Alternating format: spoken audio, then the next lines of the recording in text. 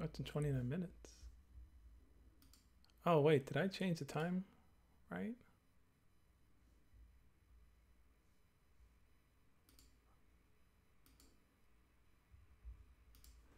Son of a gun. Did I set out notifications got the wrong time? I think we're live now, actually. I think it's supposed to notify people at 5.30, not 5. Darn it. There's nothing I can do to change it.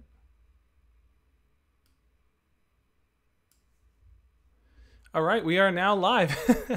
anyway, welcome everyone. Thank you guys for joining in. I'm not sure if the stream said it was set to go at 5:30 or 5, but thank you guys uh, for jumping in here. For those of you that are new here, my name is Josh. Every single week, I make videos sharing tips, ideas, and stories, teaching you how to be your best self.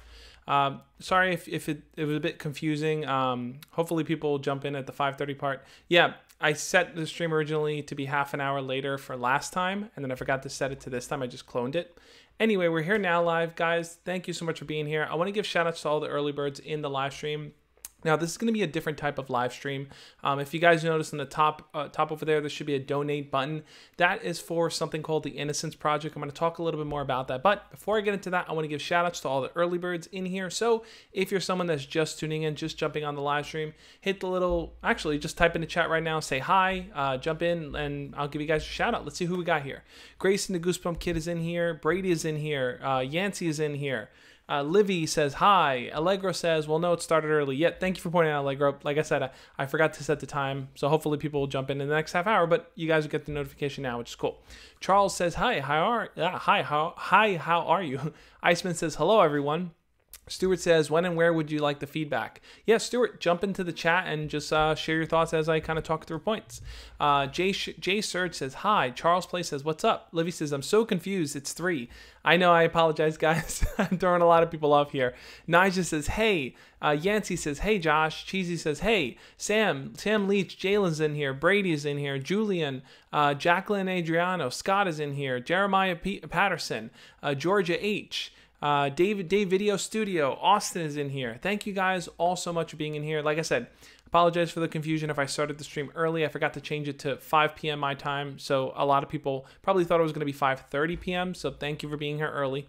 Um, so what I want to do in this stream is going to be a little bit different. I want to walk you through some of the different points and really just talk about what's going on in the world today. I think that um, there's a lot of anger, there's a lot of resentment, there's a lot of confusion, um, and there's a lot of change that's happening. You know, so much has happened in the last week in regards to political policy, in regards to the conversations people are having, in regards to just where our focus is, you know, and I want to kind of walk through some of the ideas of what's going on, share some things that I've learned in the last week or so. And I've done a lot of reading, a lot of watching videos, a lot of hearing interviews, hearing stories, uh, and I feel like I, am starting to get a better sense of things that I never really understood prior. Uh, maybe I had a vague understanding of what was taught in school, and now I feel like I have a deeper understanding of.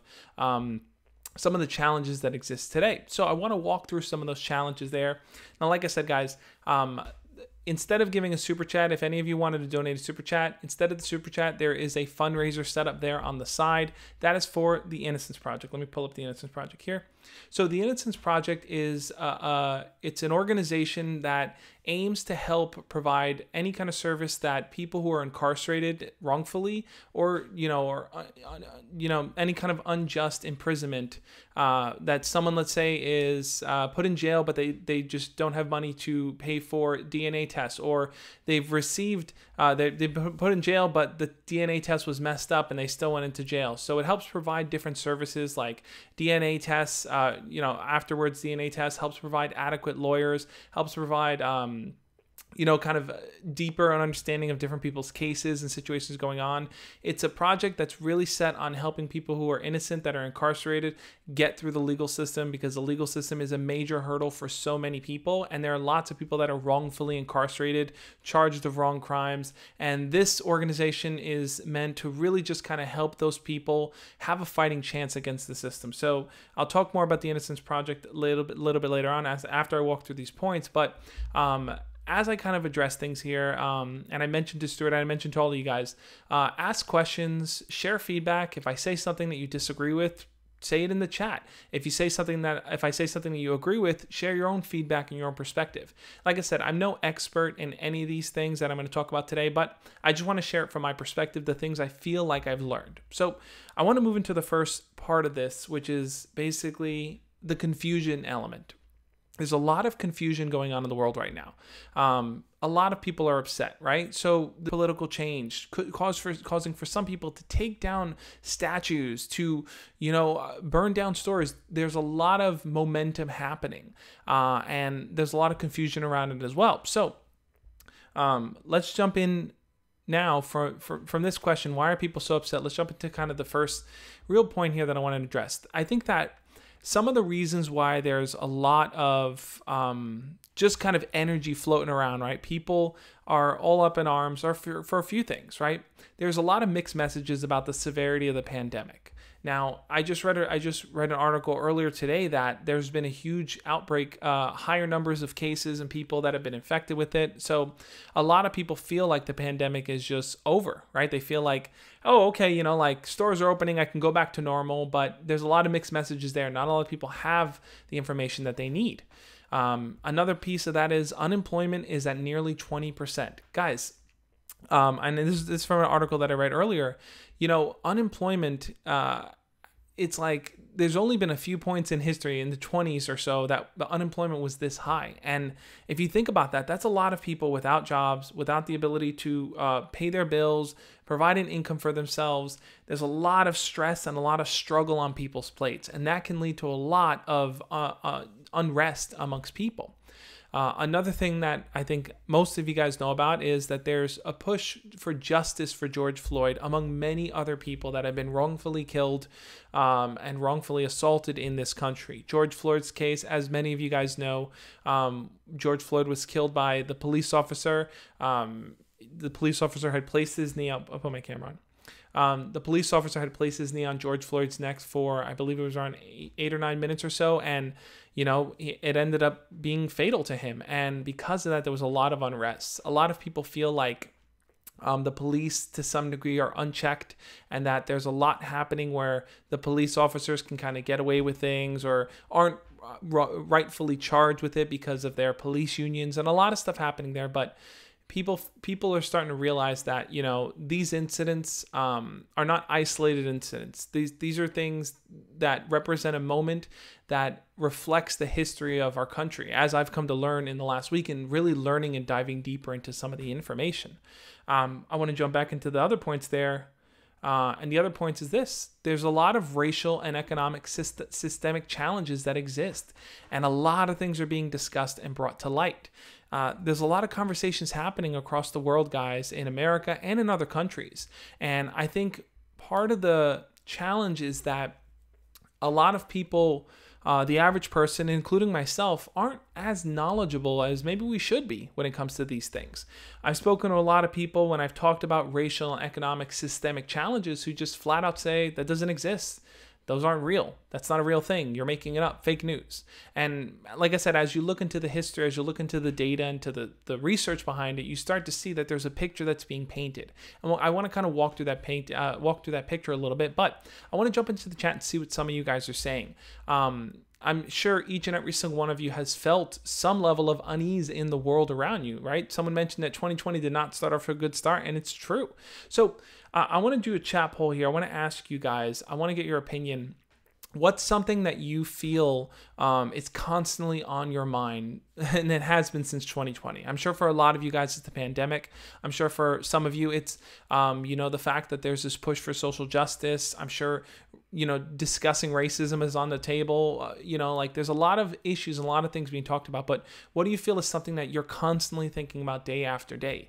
For myself one thing i'm thinking about is how can we um, move forward conversation? How can we talk to each other? How can we be more compassionate and understanding if any of you guys saw my video on tuesday i talked about the need for fierce compassion now more than ever and the idea of fierce compassion is that there's a place for gentle compassion there's a place to be understanding kind caring and to just be an open listener. And then there's a time for fierce compassion where we need to step up to protect and to help and to honor others by making sure that people aren't tossed to the side, people aren't ignored, people aren't used and abused. And that fierce compassion is in the need to protect others. So I asked you guys here, let's jump in and see what some of you said. Um, um, what's something on your mind, something that you've been thinking about recently? And here's what you guys had to say. Allegro said the pandemic.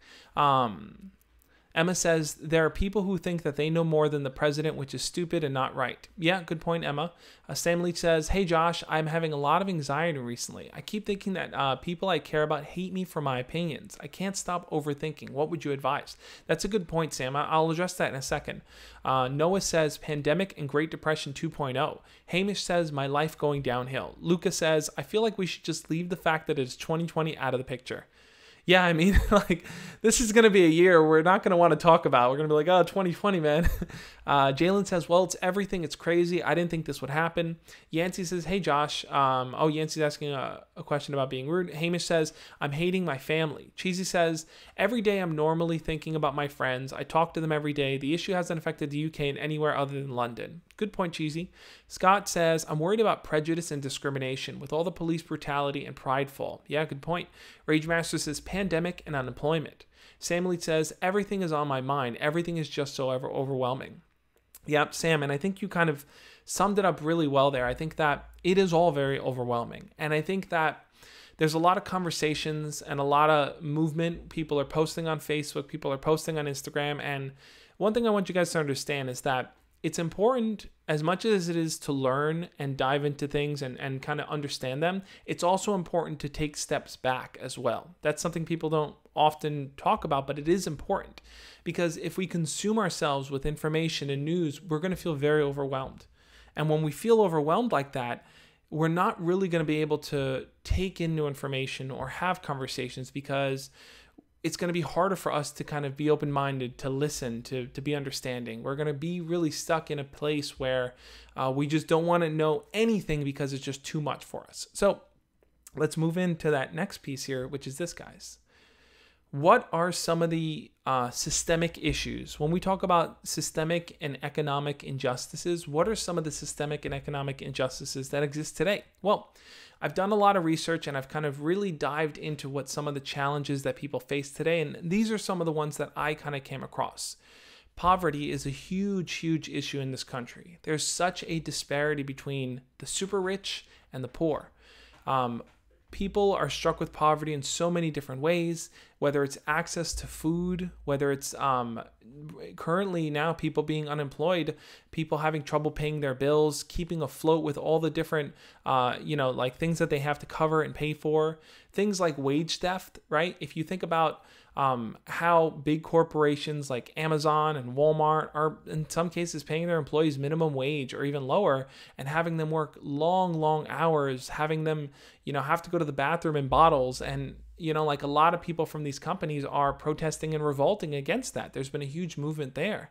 Uh, lack of housing is, is another one people not being able to purchase homes, people not being able to get approved for loans, lack of healthcare. There are so many people, I believe it's 33 million people in this country that don't have access to healthcare, right? So if they get sick, if they get injured, uh, if if they catch anything else or develop anything else besides COVID, it's not as simple to just go out there and kind of know that you'll be able to be covered. Mass imprisonment is another huge one, guys. Like America imprisons people at the highest rate compared to anywhere else in the world. So we have such a huge, huge prison population, and that ties into what I was saying before about um, about the. Oh, did it pop up? Oh, sorry. Yeah, the the Innocence Project, guys. You know, in, the Innocence Project is one way to fight back against that mass imprisonment. Uh, policing is a huge, huge issue, and we see that now. There's a lot of political change happening around policing around how the cops operate, what they do, what's protocol. Uh, crippling debt, guys. People are in massive amounts of debt from things like student loans to credit card debt to uh, medical bills. People are struggling, and the wages that they make aren't enough to help them through that debt. Surveillance is a huge one, guys. If you think about post 9 11, there was a huge, huge emphasis with things like the Patriot Act in America that put a huge emphasis on surveillance of American people. And this is, you know, um, this is uh, what, what you're doing on your phone, surveillance happening on people. And it's a, it's a major, major problem. And it's the plants. Uh, these are, you know, all these different kinds of plants. You having access to clean water is something that so many people struggle with. And under resourced schools, guys, this is another one here. There's so many schools that don't have access to uh, don't have access to proper school books. That kids have to travel, you know, miles to get to school. Where the teachers don't have uh, the right type of education or degrees, and the, the quality of education just isn't there. The access to pursue higher education isn't there for everyone. So those are just some some of the systemic problems, guys. And I want to jump in now. I want to get your guys' opinion on this. I've shared a bunch of things from policing to housing issues to Medicare, and I, I want to, you know, like. And Joel makes a good point. I'm going to jump in. If you guys have questions or things you want to ask, or like let's let's have a conversation about these things. I want to know where you guys stand. If you don't really know much about any of it, you can say that in the chat too. Say, hey, I don't really know much about those things. I want to hear where you guys stand. Uh, Zig, Zig, Ziga Kovac says, social relationships. How can people be rude in these hard times? Aren't we supposed to be friendly and supportive to each other? Yeah, I hear you. I hear you on that. I think that some of the rudeness is heightened because there's a lot of anxiety and tension from all the issues that are that are happening right now. Uh, Modern Bro says, "I'll never find someone in my parents controlling my life." I'm sorry to hear that, man. Uh, Hamish says, I can't believe I'm, I'm late. This is really bad. I'm always on time. Hamish, no problem. There's no such thing as late, man.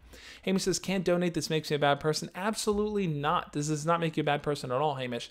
I think the best thing we can do is uh, talk about these things, to learn about this, to share that information. You know, it's not about, it's not always about give money, give money. A lot of it is about being educated and, and being able to push for things in law and to share people's stories when you see that they need to be shared.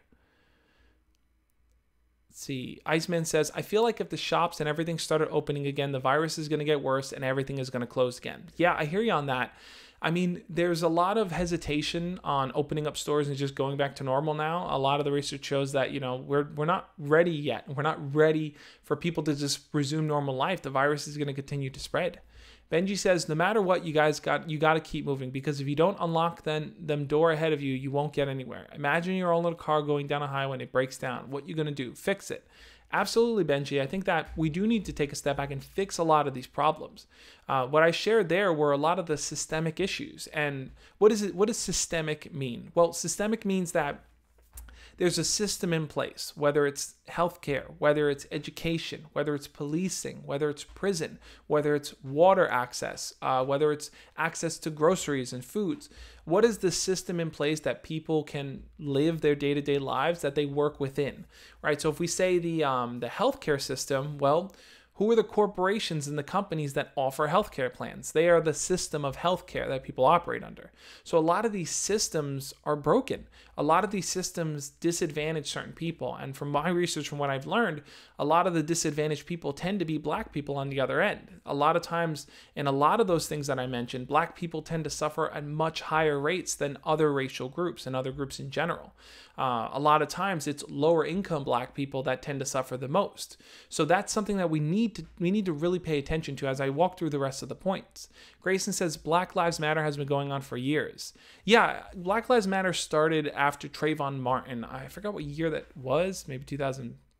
I want to say 2000 like 15, but I know that's not true. It had to have been a different year. But um, yeah, Black Lives Matter stemmed from that. Um, uh, Ziga says, My opinion is that USA should accept proper gun laws. I mean, you shouldn't be able to just go to the store and buy a pistol. Gun weapons are greatly abused by criminals. Yeah, I mean, there's a lot of discussion around guns and access to guns. I think a lot of people feel like um, guns are a part of our American right.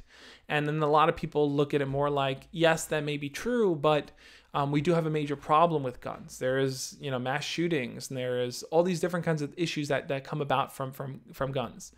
Um, Austin says, I don't think mass imprisonment is a problem. A lot of people deserve it. That's a good point, Austin. I think that from your perspective, you feel mass imprisonment isn't a problem, but if you look into some of the data behind imprisonment, in fact, Austin, what I would recommend you do is there's a documentary. Uh, it's from it's from Netflix, but it's available on YouTube called Thirteenth look at the documentary 13th and you're going to learn a lot about the prison system and you can really see how it's broken.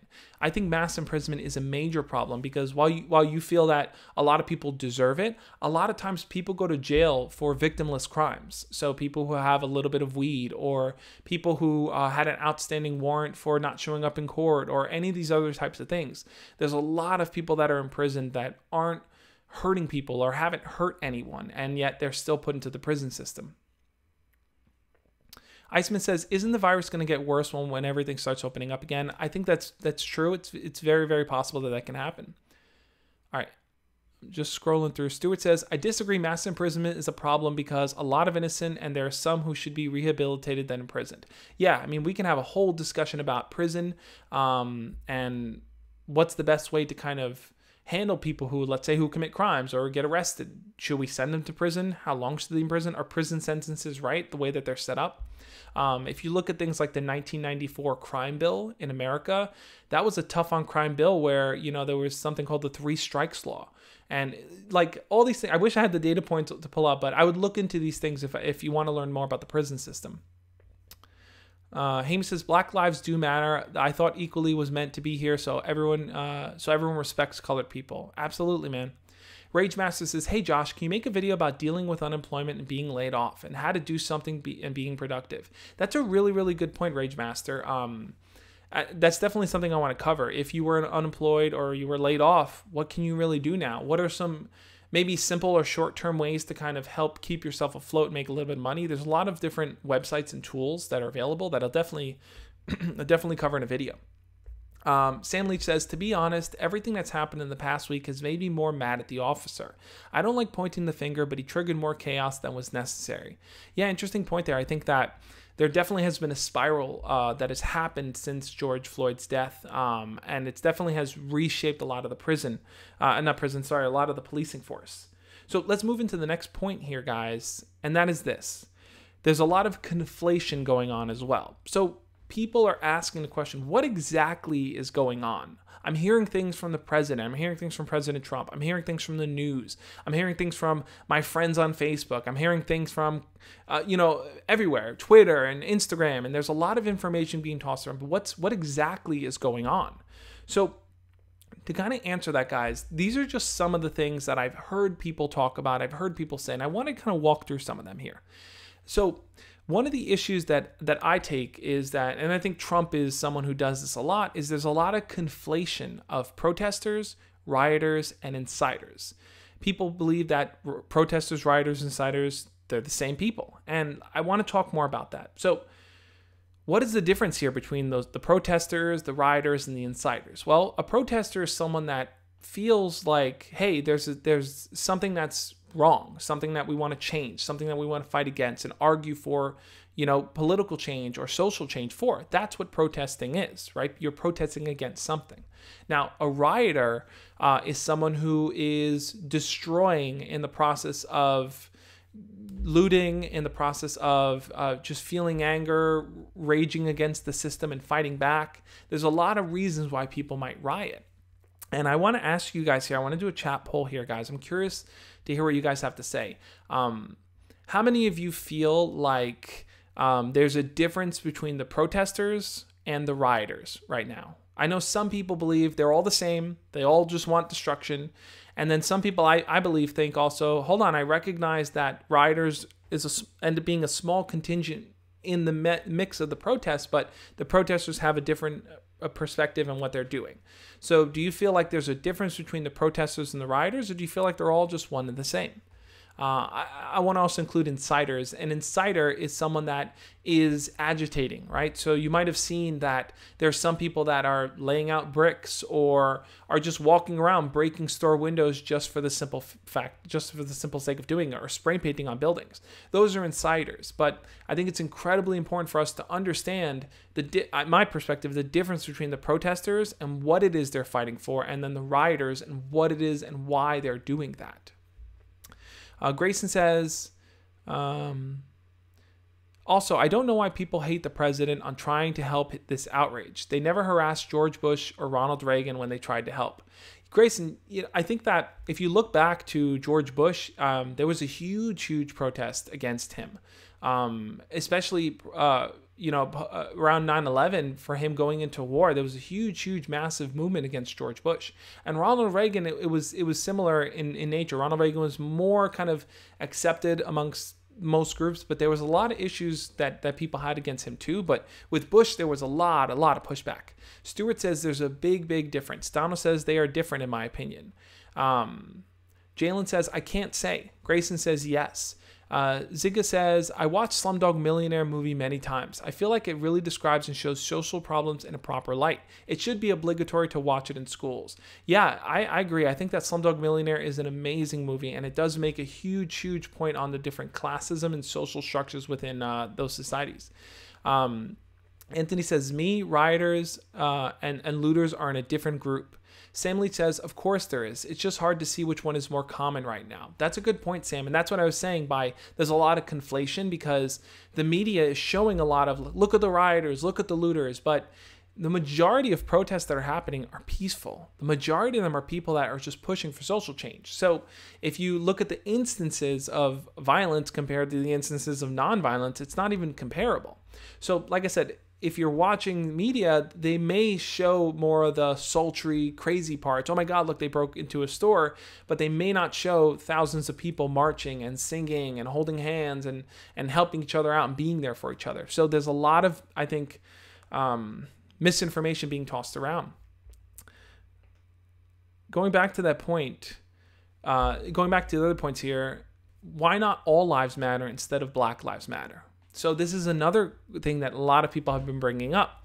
You you like if you're someone in here, you might have heard someone say all lives matter in response to Black Lives Matter, and I wanted to kind of talk about both of those. And you know, I, don't know how many of you guys have heard that analogy before, but think about it like this: Imagine uh, you're standing there with someone, and there's a house on fire, and you said, "Hey, we need to."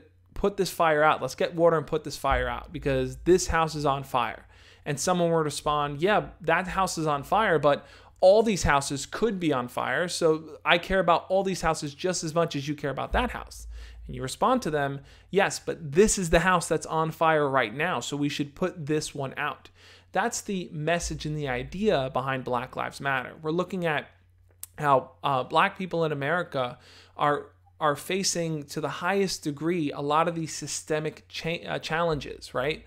Uh, education, access to education, poverty, um, drugs, crime, um, lack of health care, lack of access to health health food stores, and all these different things. That they're called uh, food deserts in a lot of areas when people don't have access to health, uh, not health, a lot of access to food stores. So I think black people end up being uh, the ones affected at the highest rates across all these different systems. So when people say Black Lives Matter, a lot of that is in regards to how black people day to day live in fear of the police. They have to teach their kids to constantly be aware of how to act around police. There's always a sense of nervousness or fear. And if you look back to the earlier days, I was watching a video here, uh, and I'll link it in the description of this video, uh, which kind of walks through the history of racism.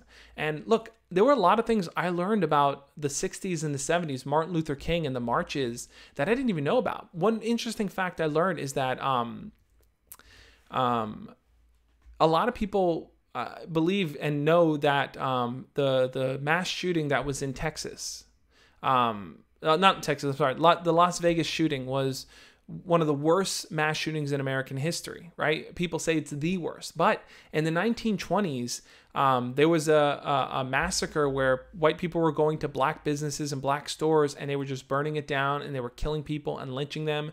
And the number of people that were killed were around 300 or so. So that actually was one the, the biggest mass massacre and mass mass tragedy in American history there. Uh, on American soil like that. So that was not something I ever ever learned before, and and you don't really hear those things because it does tie to the racist kind of history of America. It's something that a lot of people say this doesn't exist anymore. Oh, we're past that. Oh, America wasn't racist. But if you look into the history and you see the struggles that immigrants had, the struggles that black people had, the struggles that, you know, non traditional people who were who fit the mold at the time who fit the mold of the world which was at the time we're talking 20s 30s 40s 50s 60s 70s 80s 90s into now it's a lot of it was white middle class people who who kind of were more advantaged in that sense. So when we talk about that systemic injustice guys when people say all lives matter ideally what they're just doing is they're dismissing the fact that hey there are real problems that are affecting this community the most and people are speaking up about it and they're saying well everyone everyone has problems and that's it. The conversation ends there.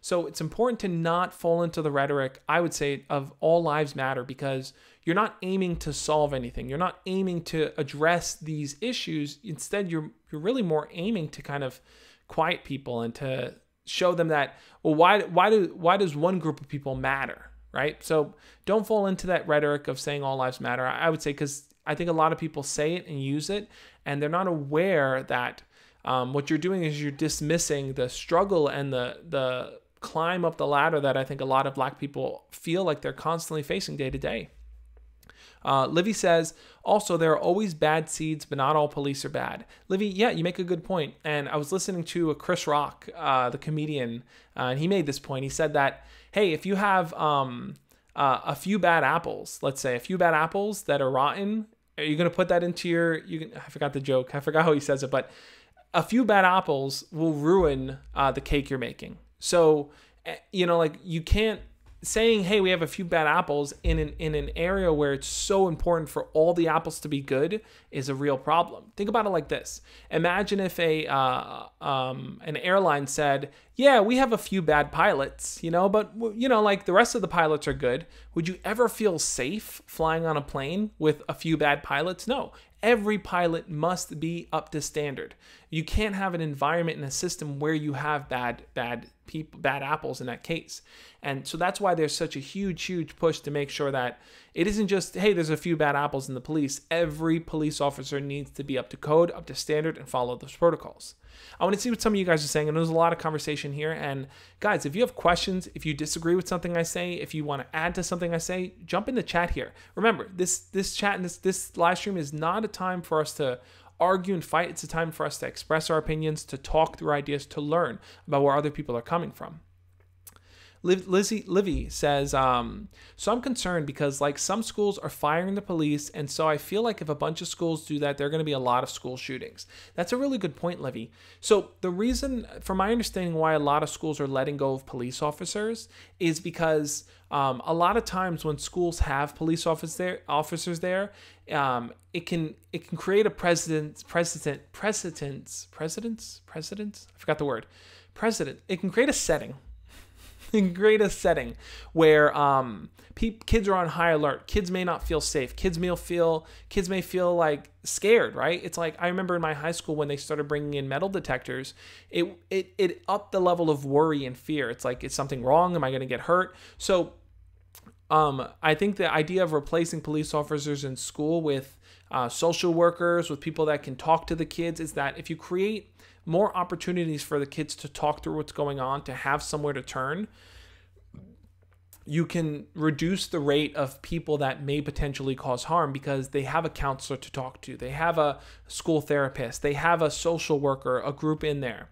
That's, I believe, the idea that that people are leading towards when it comes to um, removing some of the police and things like that in schools.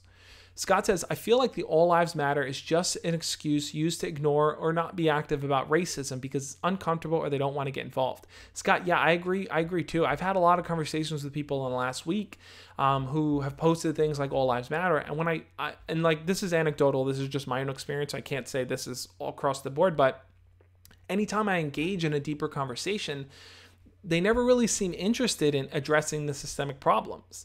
So if someone says, yeah, well, all lives matter, and I say, okay, well, what are some of the systemic issues you think are affecting all lives here, and what can we do to fix them?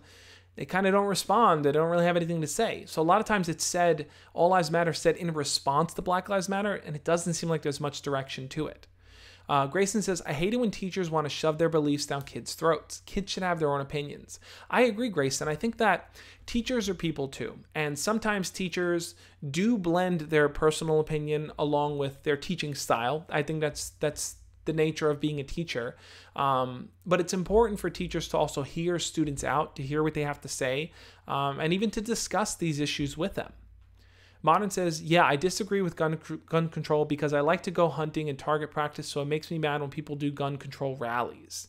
I hear you on that, Modern Bro. Um, me personally, I would argue against. Um, I, I, I'm, I'm an advocate against hunting. I don't agree with hunting. Target practice, I have no problem with, but, but hunting, because just because I don't believe in killing and harming animals. But um, I, I understand you're saying that it can be agitating for you if this is something you like, and there are people that are protesting against it. Of course, we're never going to like when someone is fighting against something that we like and something that we want to do. I think the best thing for us to do is instead of getting angry and dismissing, is to reflect on our behavior. Say, what is it that I'm doing that maybe people are upset with? Uh, is this the right thing to be doing? Is there a way I can be doing this more ethically? Those are the questions we should be asking. Sam Leach says, I think it's silly to say all lives matter in response to Black Lives Matter, but I think it makes sense if you're saying in response to BLM supporters justifying killing other innocents. Yeah, Sam, I, I understand what you're saying there. I think that this idea that BLM supporters are justifying killing other innocents, um, I mean, I, I, I maybe you might be talking about specific individuals. I don't, I don't really know. And are there specific individuals that are part of the actual BLM movement that are advocating for this? If there are, Sam, share some resources. I'd love to check it out. Um, but I think that your distinction might lie with a small group of people. I, I would probably think it's a very small group of people that are arguing for the most radical things, which is like kill people or anything like that. I want to jump back in here. Oh, wrong. Uh, where are we? There we are. Uh, I want to walk through these points because we're actually moving through this quickly, time time wise. Hamish, thank you so much for the five pound um, donation to the Innocence Project, Hamish. Uh, I know you said that you're low on money, um, but it, it does mean a lot. It is a it is a really really important project that that I myself am supporting. By the way, guys, for every donation that you guys make to this organization, I'm gonna match it. So Hamish donated five pounds, so I'm gonna match that whatever that equivalent is in dollars. I'm gonna match that too. So if you'd like to donate to the Innocence Project as well, feel free to do that, and I will match you on that uh, donation everyone has equal opportunities in America, and racism doesn't exist anymore. I'll move to this one, although it's a big, heavy, heavy one. I'll move through it a little bit quicker. When people say everyone has equal opportunities in America and that racism doesn't exist anymore, I think I think the simple thing there is simply just to educate people on the history, educate people on the policies that exist, and educate how those two intersect. So, something like um, access to quality education is a systemic uh, it falls into systemic racism because um, and I'll explain what it, what what racism means and, and how that's different from something like being prejudiced or being hateful to someone else. But um, something like the education system where there was something called redlining where uh, black people weren't allowed to buy houses and banks and businesses weren't willing to sell it to, to black families. So black families were excluded from purchasing land in different areas and they could only purchase in poorer areas where there was less development, less stores, less business. Because of that, a lot of generational wealth didn't travel to um, the people of this generation. Whereas in white families where they could purchase land and they could go to college early on, uh, whereas black people weren't allowed to go to college, they had more generational wealth. So for every, I believe it's for every $100 that a white family has, on average, a black family has $5 in terms of that generational wealth because their ancestors, ancestors, their grandparents maybe, were able to go to college and purchase land, whereas black people weren't allowed to. So uh, all that is to say that there is these systemically racist systems that exist because they end up targeting uh, groups of people, usually uh, classes of people races of people. So that's an example when people say, oh, racism doesn't exist anymore. Well, we need to really understand what racism means. So when people say everyone has an equal chance, well, if you look at history and you look at what people were denied access to, that has an upfolding effect to today. That has an upfolding effect to how people have access to different things. Um, if you look, there was a research study done, I believe it was by The Truth, which said that um, Newport, Newport, the cigarette company, would intentionally open up, uh, you know, sell cigarettes and sell lots and lots of cigarettes in black poor communities because they knew that um, they can target them and they knew that they were an easy person to kind of get hooked and addicted to buying cigarettes. You look at the same thing and you see the same thing with liquor stores. Liquor companies did the exact same thing.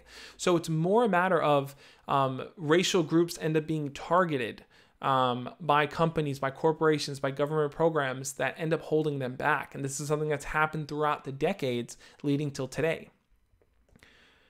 So let's move into the next point there, guys.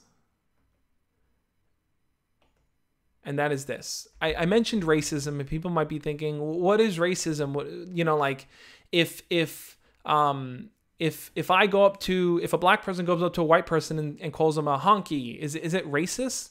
Well, that's a good question.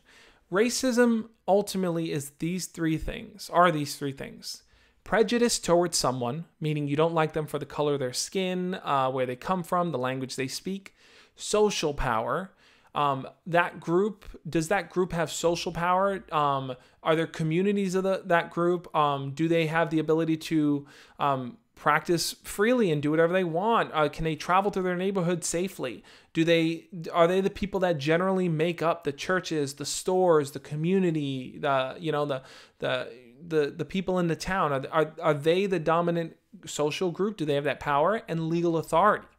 Um, who's in charge? Who's in charge? Who's making the laws? Who's passing the bills? Who's determining what's right and what's wrong? Racism is a mix of those three things. A lot of times when people mention things like reverse racism and they say, oh, a black person was racist to a white person, what they ultimately really mean is that black person may have been prejudiced towards that white person. They may not have liked them because of the color of their skin, but that black person doesn't maintain that social power and they don't usually maintain or they're not part of the, the dominant class or group of people that maintain legal authority. So it's important to know what racism means. When people speak on racism, that's ultimately what they mean. It doesn't mean you said a, a, racist comment and that's the end of it. It's recognizing that racism is a structural system. It encompasses prejudice, social social power, and legal authority. So if you look at how these different systems are set up in this country, the education system, the healthcare system, the prison system, they can be systemically racist because the people that have the dominant power and the people who are at the bottom tier suffering the most from it end up being a racial class, black people. I want to hear what some of you guys have to say because I know that people have different opinions on what racism means. So let's do a chat poll here. Um, in your mind, um, what do you believe the word racist means? What do you believe racism is? I'm curious to hear what you have to say. I shared what um, what I what I've seen different scholars refer to, which is those three points to it, um, versus just being prejudiced. But I'm curious, what do you guys believe racism to be? Um, Hamish says Newport, that company sponsored an event I went to. We got all caps from them. Uh, Stewart says you must be joking. He did the equivalent of hide in the basement during a pandemic and protest against racism. Uh, Diego says racism is the next level of bullying. That's a good point, Diego. Cheesy says, and I completely understand that the only thing I don't get is uh, police not having guns because of the laws. Uh, then criminals won't follow the laws and it can cause problems. That's an interesting point, Livy. I think that um, police not having guns because of the laws. Yeah, I mean, I, I personally believe that we do need uh, a division of police with weapons, police with guns, so that they can protect. If there are other people with guns, if they do need to stop a robbery or crime, I do think we need that. I think a lot of the times when people mention the term like de- defund the police, ultimately what they mean is that um, the police like look i just discovered that the new york police budget is i believe the 33rd highest military budget in the world or in the us or something crazy like that. Like the new york police budget. So where is all that money going? Is it going towards police? Is but is it going towards training? Is it going towards uh, mental health training? Is it going towards de-escalation training? And a lot of times it's not. So a lot of money in police budgets, especially in America, is being squandered in different areas. And people are arguing that hey, let's redirect that towards mental health training. Let's redirect that towards social workers because sometimes it may make sense to send a social worker into a situation than a police officer with a gun. Um, like I said, but I'm not the policymaker to determine that. But I understand the idea of uh, defunding a singular area and then redistributing it to other areas. Um, Ziga says, uh, I'm a gourmand, so one of the things I really can do is stop eating meat. If I'm unable to do something, I make sure to do it the way that it hurts the environment the least. So you're a gourmand? Maybe that means that you're, you're a connoisseur of food and stuff, but you can be a connoisseur of food and, and not eat meat. There's plenty of, of things to do that. But Zig, if you want, shoot me a message and I can talk to you and share some cool recipes and things like that if you're interested in trying some meatless meals. Um, okay, let's see what some more of you guys said. Uh, Rage Master says racism has got to stop. Uh, Meatbag says neglecting or harassing a targeted group. Um, Nigel Williams says the skin color. Modern Bro says um, judging people, bullying, punishing because of the race or religion. Rage Master says we need to support people not uh, not other than not other than skin color, what language they speak, uh, who also have to support people with disabilities as well. Let's take a water break. Sam Leach says, I believe racism is simply discrimination based on race. If we want to be equal, we should start treating all cases of racial prejudice the same, no matter the color. Um, okay, I understand what you mean there. Grayson says people always said racism will turn back into segregation. Um, look, it, it, there are some schools of thought that um, racism can inspire segregation, where people, you know, like um, exclude other races, other groups out of clubs and things like that or organizations. Cheesy says there is no Cold War. Why is America spending mili- on the military so high? That's a good point, Cheesy.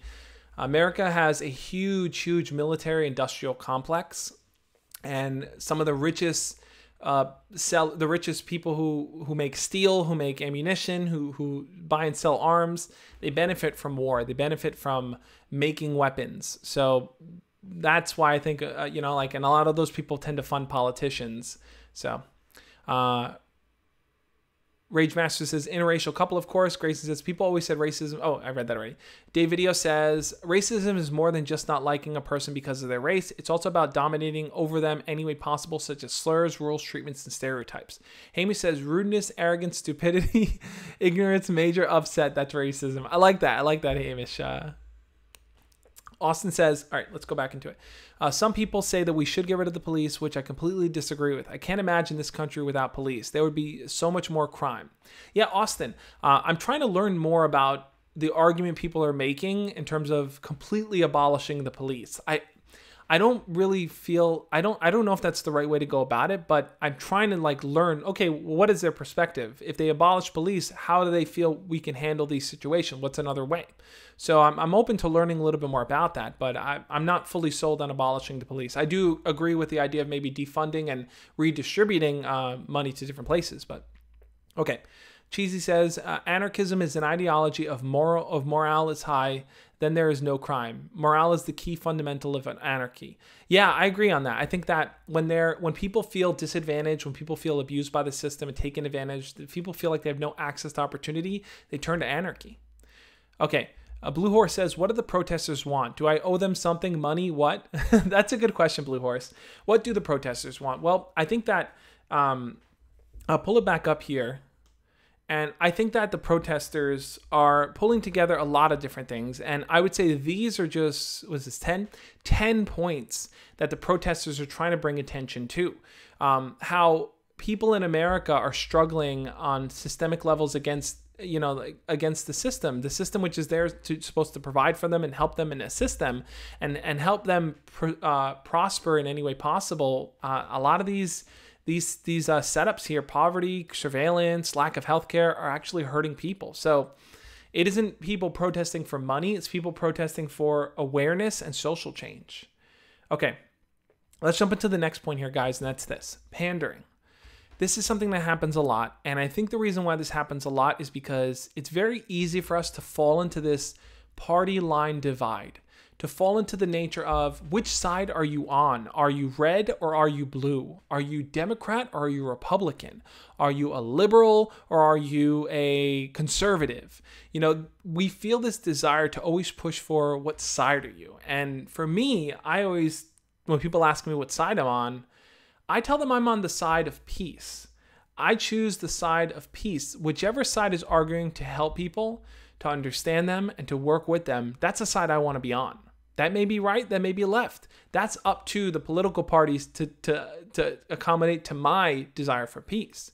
And a lot of you guys know that in America, you know, one of the popular sayings is with liberty and justice for all, right?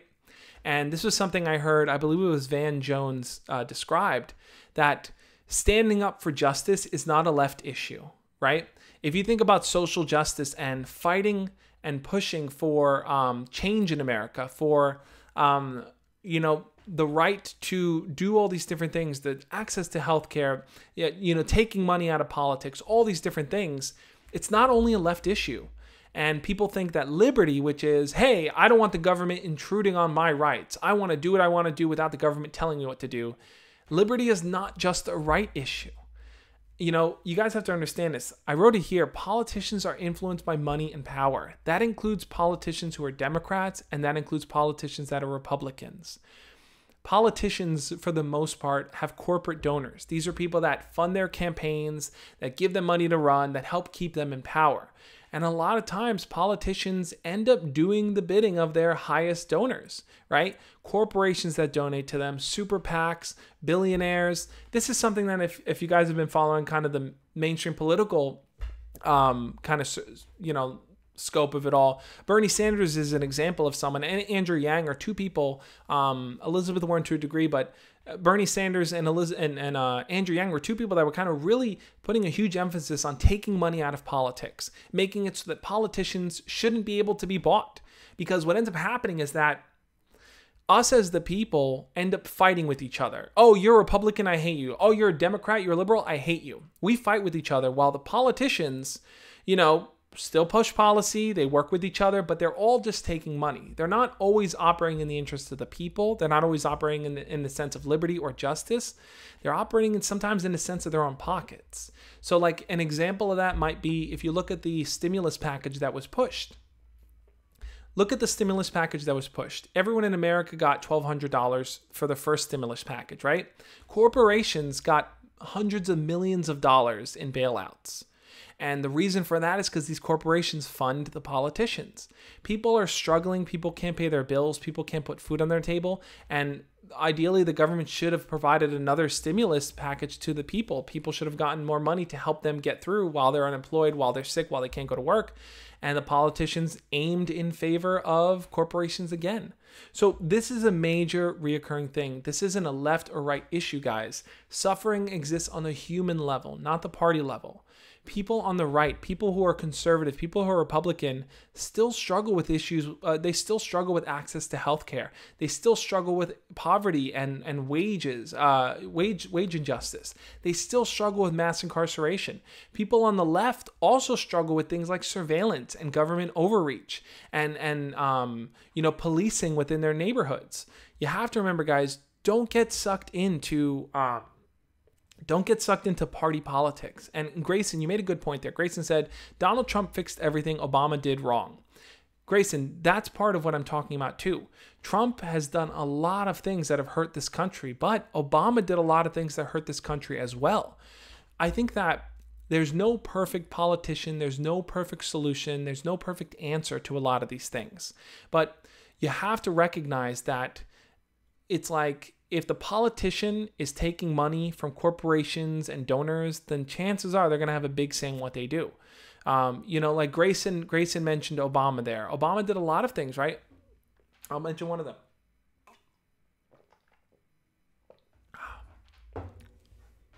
Um, in 2008, uh, after the stock market crash, Obama um, bailed out all these big corporations right? American tax dollars went to cor- towards corporations, right? Obama, for example, ran on a populist message when he first started, and then he moved more towards kind of this centrist corporate politician, right? Trump is really no different. Trump, I would argue, has done a lot worse and has been far worse. Um, but look, recent when when Trump took the picture, I'm sure you guys saw Trump holding the Bible like really awkwardly. When Trump went to hold the Bible and take that picture, there were people peacefully protesting outside of the White House, and Trump. Uh, William Barr, under Trump's command, had pushed for the government, uh, pushed for the police officers to start, start shooting tear gas at the the completely innocent protesters to push them away so Trump can go do his photo op. To me, that's an overreach of power, a massive overreach of power. That's tyranny in play. So Trump is is is not a good dude. He's not. I would say he's not someone that um he's not someone that's definitely fighting for peace and justice. I think that he's stirring up a lot of issues there. But this isn't to say that, oh, Trump bad, Orange Man bad, he's the only thing that's bad. I think our political system is struggling. And, and it's a lot of the issues that I mentioned earlier, and I'll bring it back up, guys. A lot of these issues are not being addressed by left and right. You know, and the way that we are going to address them is by talking about them, about learning. It's about learning about the history, and it's about really understanding what change looks like. That suffering exists for all people. It's not a left or right thing. But in the interest of learning more about you guys, because I definitely want to learn more about you, i will do another chat poll here where do you guys consider yourself politically? If you had to give yourself a political label, or if you had to give yourself a political title, party side you agree with, where do you place yourself politically? Um, you may not really know. You may tell yourself, I don't place myself in anything, and that's fine too. I'm curious to know where you guys stand. For myself, where I stand now, I would probably identify myself as a social democrat. And by that, that means that I believe in uh, a capitalist system with government regulation for corporations, right? I don't believe in corporations kind of de- developing monopolies and, and seizing power to the highest degree. I believe in taking money out of politics. I don't support super PACs or corporate donors. And I think that uh, a social democracy means that we have social programs that, um, similar to Sweden and Norway and Finland and a lot of these other countries, that have these social programs like Medicare, uh, schooling, uh, you know, all these different things that help provide for the people, help take the the basic necessities of life off their plate so they can focus on developing a prosperous life, family, and career. So that's kind of where I stand. I'd probably put myself in a SOCDEM, uh, social d- democrat uh, position, but I'm curious where you guys stand. Anthony says, "I have no political opinion." And look, this isn't to say any anyone anything anything. Oh, I'm this, I'm this. That one is right, one is wrong. I think that for me, my ideas of if I'm aiming for peace, I feel like that is the strongest argument for peace. Um, Grayson says, I would consider myself a Republican and conservative. Cheesy says centrist.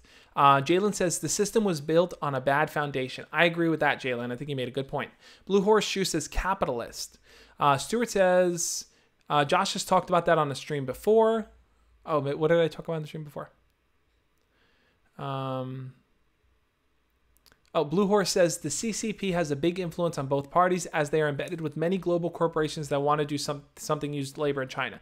Yeah, I mean, our dependency on foreign countries for, for production is is scary because it's like if the foreign countries turn against us, we lose access to products, we lose access to business, we lose access to a lot. Um, I don't mean to start anything. I just thought Trump is a good president. Yeah, no problem, Grayson. Look, like I said, um, this isn't like you're wrong, you're right. This is more about learning about each other. And like I said, all of this is to recognize that there are problems in the system. There are lots and lots of problems in the system. And I mentioned some of them. There are systemic problems, there are systemic systemically racist problems that exist, economic challenges that that are there. Um, Blue Horse says Sweden, Norway are very capitalist. Yeah, I agree. They're they're very capitalist countries. Um, Sam Lee says center right, but always open to having my mind changed. Yeah, I agree. I think we should all be open to learning and having our minds changed. I think it's a really important thing. Rage Master says in between both Democrat and Republican, it depends, but Republican for the most part. Cool, cool. Sam Leach says, What we forget is that politicians are humans and humans aren't exactly perfect. You nailed it on the head there, man. You nailed it on the head. Grayson says, George Washington founded the Republican Party. Did he? I'm not really sure. I don't were there established political parties back then? Or did it come after Washington? I honestly don't know. I, I really should probably look into that. um, let's see. Um, Cheesy says Sweden and Norway have welfare benefits, though. This results in a more socialist system. Yeah, I agree. Like they can be capitalist enterprise system uh, countries, but they have very, very strong safety nets, like Cheesy said, and that's why I think we should lean more towards that model. Uh, like Medicare for all, I think is a simple thing that everyone in the country should have access, should have the ability, should be guaranteed the to the healthcare that they deserve. Right? I think that that would create a healthy and stable society. Um, Blue Horse says Europe is mostly social democrats, but not socialists. There's a difference. Do people understand that? I think I think I think people understand that. People throw the word social and they hear the word social and they uh, social democrats and they think uh, socialist uh, socialist. But I think not a lot of people may understand that difference. But um, I would hope some people do. Yeah, Jalen, thank you for sharing the political compass test. That's a really, really great test to take. I think uh, it helps you really understand where you stand. All right, let me read through a few more comments. I'm going to get to the last few points here, but um, Hamish says, There is a problem of getting into bad fights if I talk about politics. Hamish, I hear where you're coming from on that. I, I think that we've had a pretty um, decent conversation, all of us. Wouldn't you guys agree that we've kind of talked about things and had, had a decent conversation along the way? Um, let's jump into the next point here.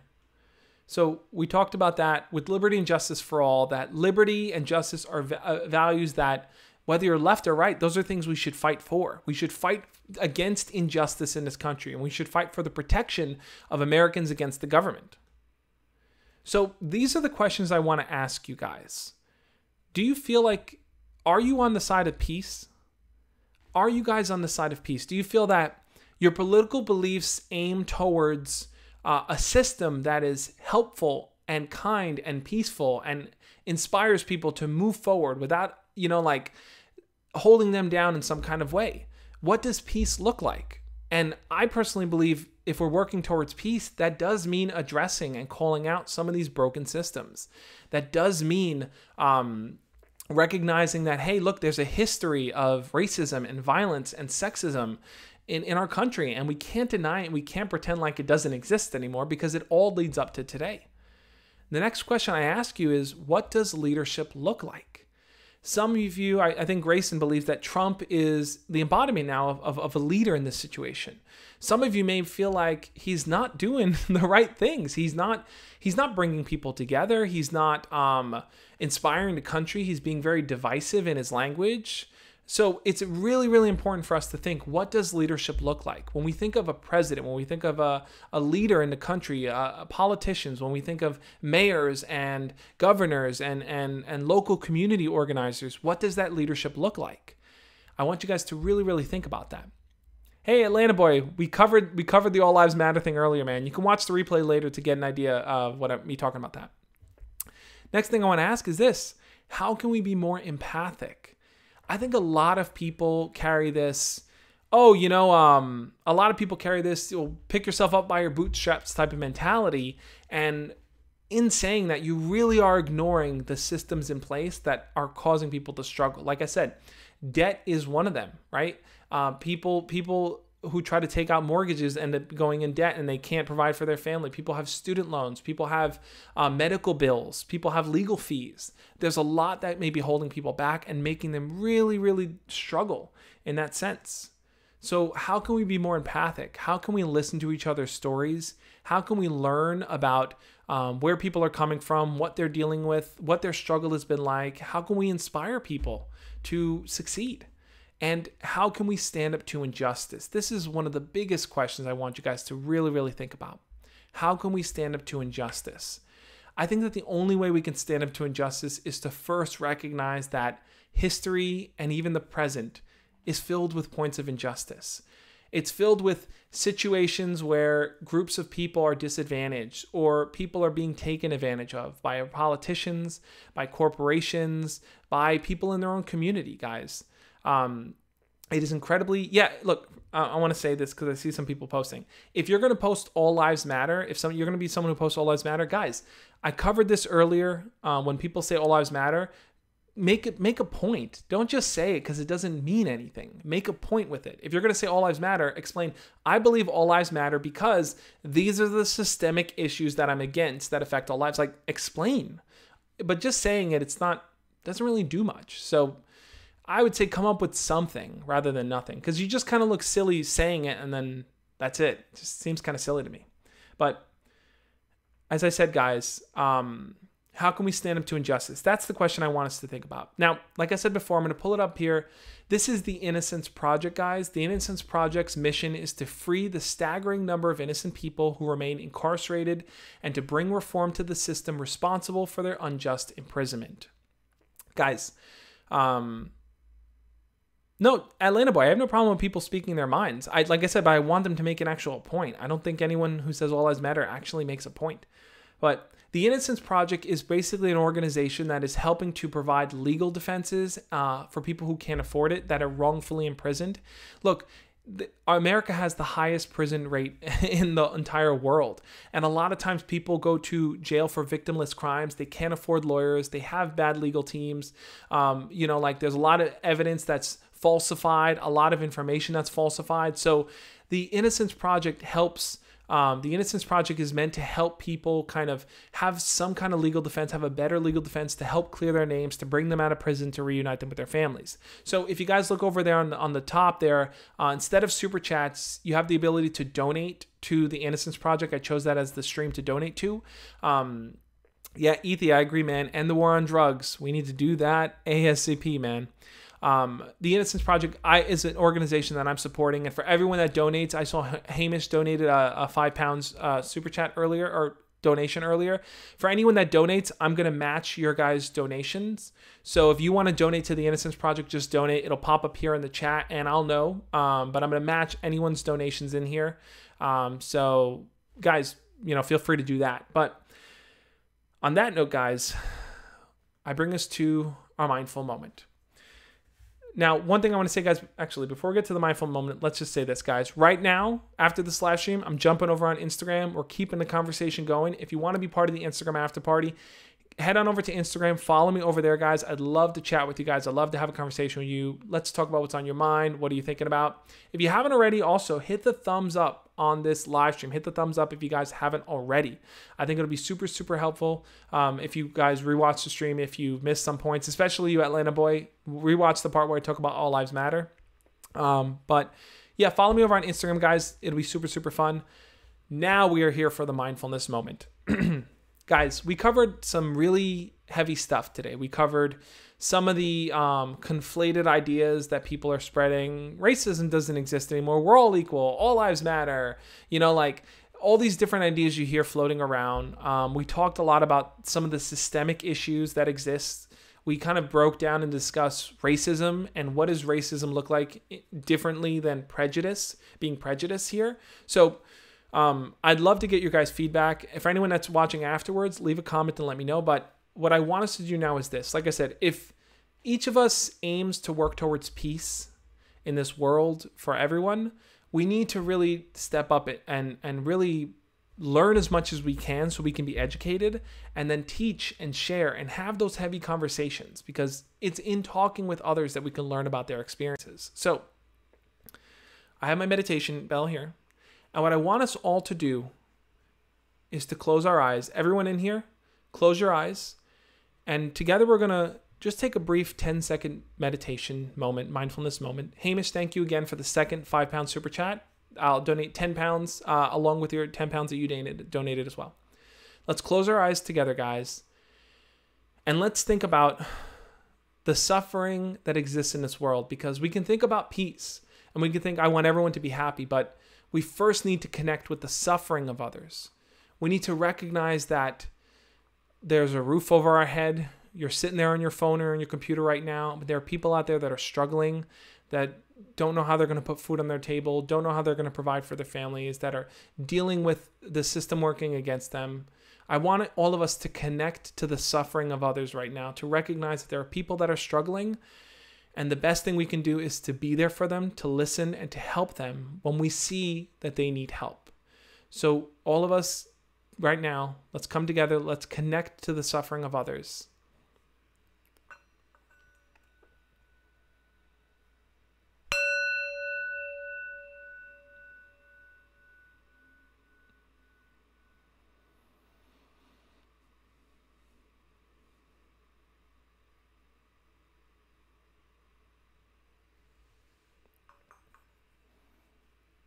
There are many people in this world that need our kindness and our help, guys. Let's do our best to be there for them. Now, what I want you to do, for, thank you guys for being part of the live stream. Um, I'm going to link up a video over over here afterwards um, for you guys to check out. So check out those resources and make sure to follow me over on Instagram so you can join the after party. But guys, if you can learn more about the Innocence Project, learn what they're doing. I think it's an amazing organization doing an amazing thing. If you can, donate to them as well. Thank you guys for being a part of this live stream. These were heavy topics, and thank you for having a civil, open conversation here. I appreciate every single one of you guys. On that note, guys, I'll catch you next time. As always, love and peace. See you guys then.